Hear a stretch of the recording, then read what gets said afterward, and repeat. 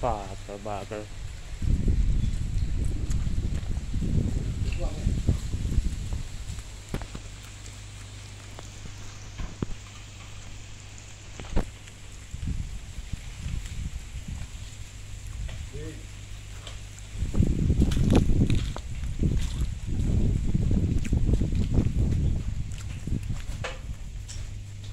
So big, guys. Look at it.